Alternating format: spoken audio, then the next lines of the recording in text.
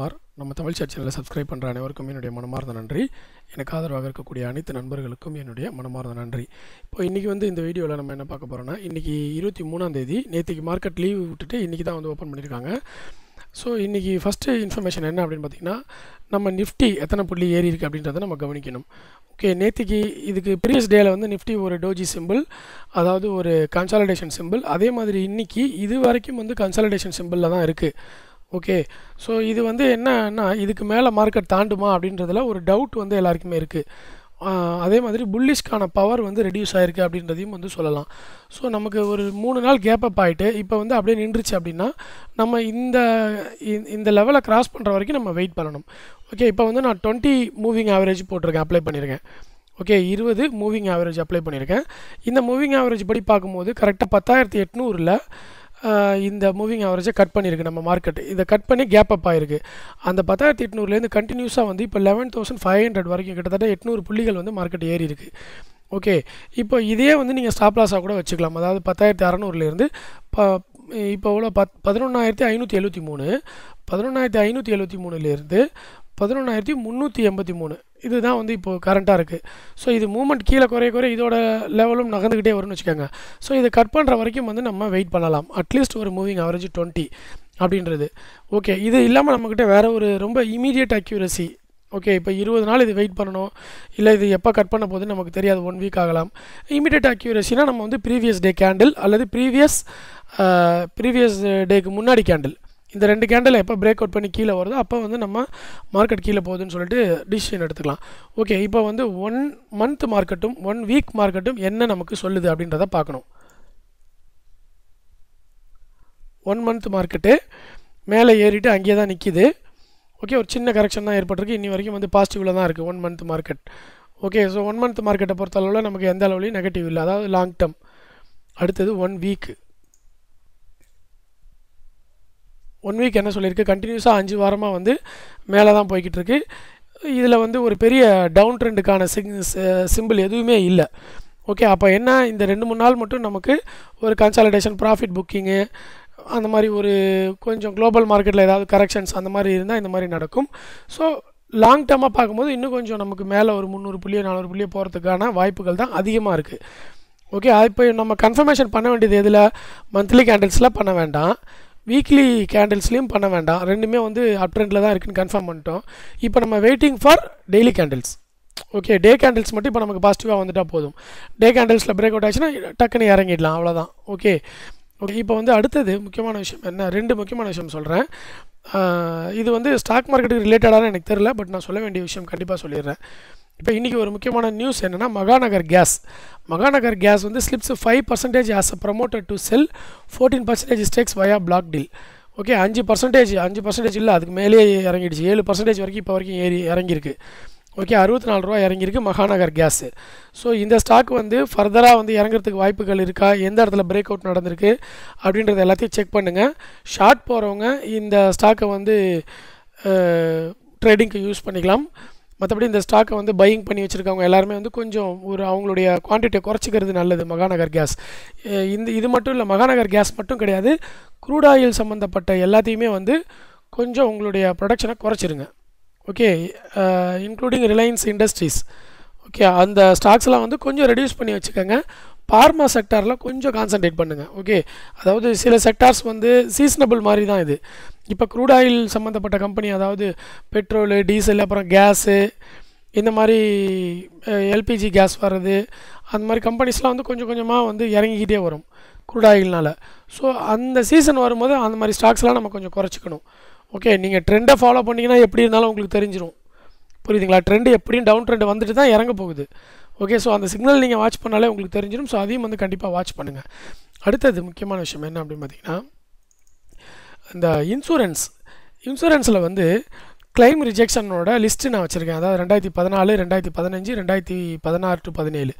Okay இந்த மூணு வருஷத்தில் அதிகமாக வந்து கிளைமை ரிஜெக்ஷன் பண்ணவங்க அதாவது இப்போ நீங்கள் இன்சூரன்ஸ் போட்டிருக்கீங்கன்னா ஏதோ ஒரு காரணத்துக்காக ஒரு அந்த லைஃப் இன்சூரன்ஸை வந்து கிளைம் பண்ண போகிறோம் இப்போ நம்ம வீட்டில் ஒருத்தவங்க இருக்காங்க அவங்க வந்து இன்சூரன்ஸ் போட்டிருக்காங்க அவங்களுக்கு ஏதோ ஆயிடுச்சு. ஸோ அதனால் என்ன பண்ணுறோம் அந்த லைஃப் இன்சூரன்ஸை நம்ம கிளைம் பண்ணுறோம் கிளைம் பண்ணும்போது அந்த கிளைம் நமக்கு கிடைக்கணும்ல. ஸோ ஏதோ ஒரு ரீசனுக்காக அதை ரிஜெக்ட் பண்ணுறாங்கன்னு வச்சுக்கோங்களேன்.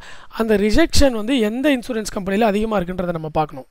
அது ரொம்ப ரொம்ப முக்கியம். ஏன்னா நம்மலாம் வந்து மிடில் ஃபேமிலி மிடில் ஃபேமிலி ஒரு அந்த இன்சூரன்ஸ் பணத்தை நம்பி இருக்கிறவங்கலாம் வந்து ஒரு பெரிய பாதிப்புக்கு உள்ளாகும் அவங்களோட இன்சூரன்ஸ் வந்து ரிஜெக்ட் ஆகும்போது இன்சூரன்ஸ் கிளைம் வந்து ரிஜெக்ட் ஆகும்போது ஸோ அந்த மாதிரி யார் அதிகமாக ரிஜெக்ட் பண்ணியிருக்காங்க அப்படின்னு பார்த்தீங்கன்னா Punjab national bank MetLife இன்சூரன்ஸில் வந்து அதிகமான ரிஜெக்ஷன் நடந்திருக்கு.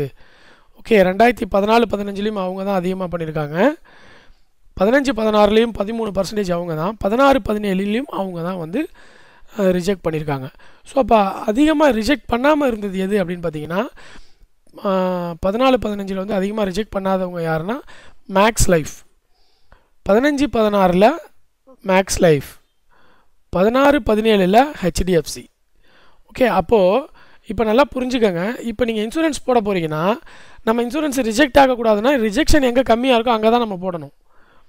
ஓகே அது ஒரு முக்கியமான விஷயம். ஏன்னா நிறைய ரீசன்ஸ் வச்சுருப்பாங்க. அந்த ரீசன்ஸ் வந்து டீவியேட் பண்ண மாட்டாங்க.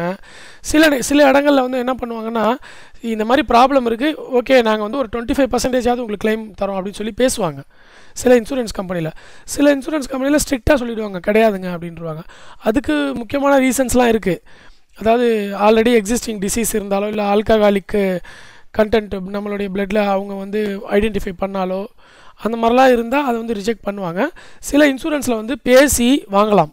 ஒரு லாயர் உட்காந்து பேசினார்னா அட்லீஸ்ட் ஒரு டுவெண்ட்டி ஃபைவ் பர்சன்டேஜ் தேர்ட்டி பர்சன்டேஜாவது கிளைம் கொடுப்பாங்க.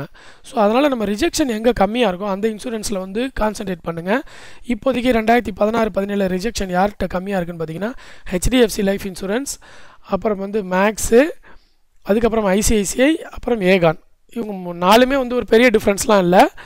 ஓகேன்ற மாதிரி தான் இருக்குது ஓகே ஸோ அந்த மாதிரி ரிஜெக்ஷன் கம்மியாக இருக்கிற இடத்துல வந்து போங்க. இப்போ மெட் லைஃப் இன்சூரன்ஸ் பார்த்தீங்கன்னா ஒம்பது புள்ளி ரெண்டு பர்சன்டேஜ் வந்து ரிஜெக்ட் பண்ணியிருக்காங்க. கிளைமை இது வந்து ரொம்ப ஹியூஜ் நான் இப்போ நிறைய பேருக்கு கிளைம் பண்ணலை கிளைம் கிடைக்கலன்றது அர்த்தம். இல்லைங்களா? ஸோ இதை வந்து கவனத்தில் எடுத்துக்கிட்டு நீங்கள் வந்து இன்சூரன்ஸ் போங்க. இன்னும் சொல்ல போனால் இன்சூரன்ஸில் வந்து சாதனை படைத்த கம்பெனி அப்படின்னு சொன்னால் லைஃப் இன்சூரன்ஸ் கார்ப்பரேஷன் எல்ஐசி மட்டும்தான் சொல்ல முடியும். ஏன்னா அவங்க வந்து ஒரு லைவ் எக்ஸாம்பிள் கொடுப்பாங்க எல்லாத்துக்குமே.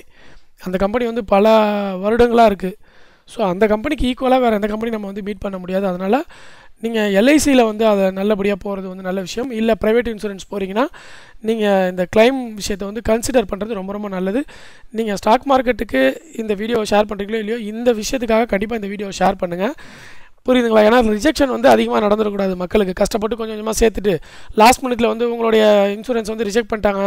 ஏதாவது ஒரு ரீசன் சொன்னாங்கன்னா ரொம்ப பெரிய ஏமாற்றமாக இருக்கும். அதனால் இதை வந்து ஷேர் பண்ணுங்கள் அடுத்த விஷயம் என்ன அப்படின்னு பார்த்தீங்கன்னா இது ரொம்ப ரொம்ப முக்கியமான விஷயம். ஸ்டாக் மார்க்கெட்டில் இருக்கிறவங்களுக்கு ஃபியூச்சர்ஸ் அண்ட் ஆப்ஷன்ஸ் பண்ணுறவங்களுக்கு ஓகே ஸ்ரீராம் வெங்கட்ராமன் அப்படின்ற ஒரு சப்ஸ்கிரைபர் போட்டிருக்காரு. ஆக்சுவலாக இது நியூஸில் எக்கனாமிக்கல் எக்கனாமிக் டைம்ஸில் நியூஸ்லேயும் இந்த விஷயம் வந்து வந்திருக்கு. இதை நான் படிக்கிறேன் ரொம்ப தெளிவாக கேளுங்க.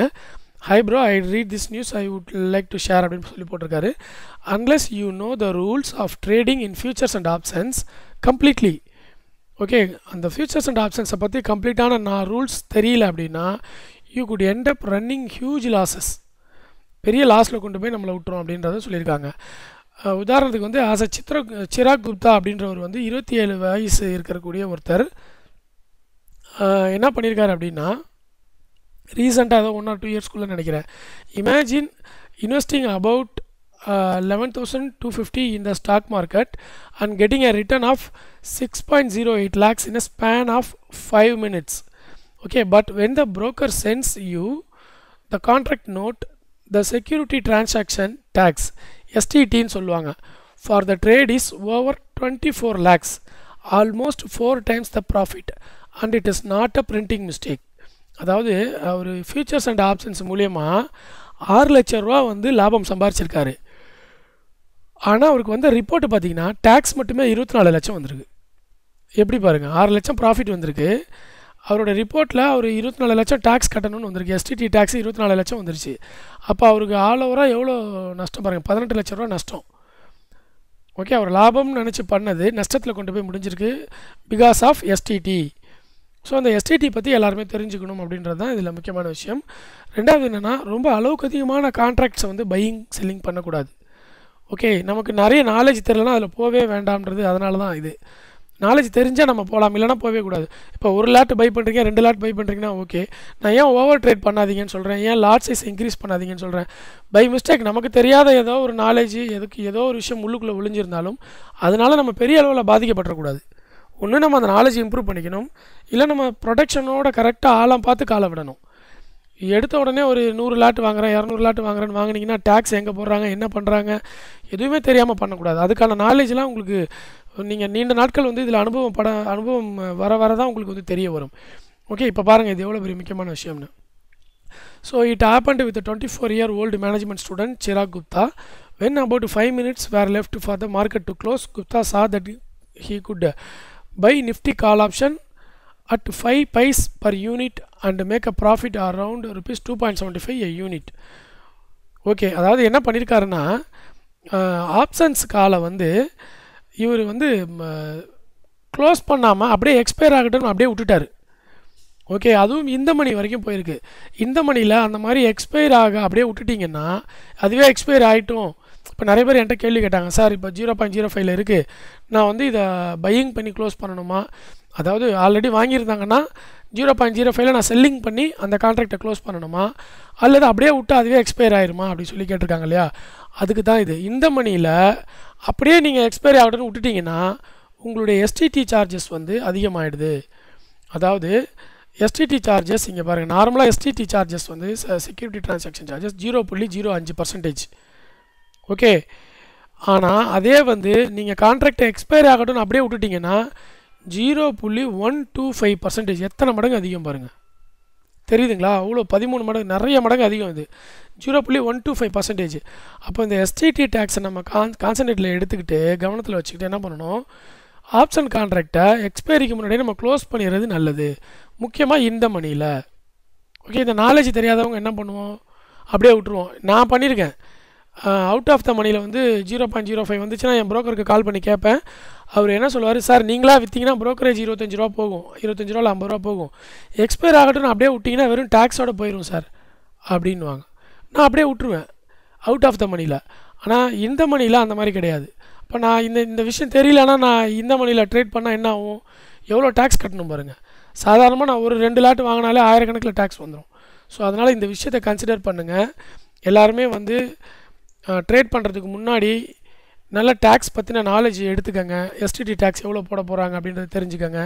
அதே மாதிரி எந்த ஒரு ட்ரேடிங்காக இருந்தாலும் ஃபஸ்ட்டு ஒரு நாலஞ்சு தடவை சாம்பிள் ட்ரேட் பண்ணி பார்த்துட்டு அதுக்கப்புறம் பண்ணுங்கள் இப்போ ஈக்குவிட்டி பண்ணுறீங்களா முதல்ல ஒரு ஐம்பது ஸ்டாக் இல்லை இருபத்தஞ்சி ஸ்டாக் வாங்கி பையிங் செல்லிங் பண்ணி பார்த்துட்டு ரிப்போர்ட்ஸ்லாம் எப்படி வருது எவ்வளோ டேக்ஸ் போடுறாங்க எல்லாத்தையும் வெரிஃபை பண்ணிவிட்டு அதுக்கப்புறம் வந்து நூறு ஸ்டாக் ஆகுங்க அதுக்கப்புறம் ஐநூறு ஸ்டாக் ஆகுங்க ஸ்டாக் மார்க்கெட் பற்றி ஒன்றுமே தெரிஞ்சுக்காமல் ஜஸ்ட்டு இன்ஃபர்மேஷன் மட்டும் தெரிஞ்சுக்கிட்டு ஓகே இன்ஃபர்மேஷனே இப்போ நீங்கள் யூடியூப் வீடியோ பார்த்து ஒரு இன்ஃபர்மேஷன் தெரிஞ்சுக்கிறீங்க.